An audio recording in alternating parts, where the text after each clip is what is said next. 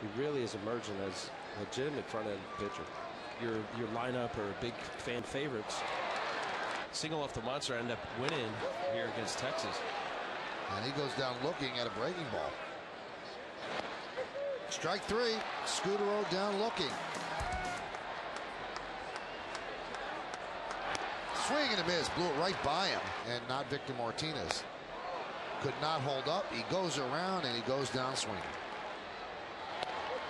I mean, if you're Strike off, three. if you're off, Michael, and you're you're pouting because you gave up three or four runs, Strike three.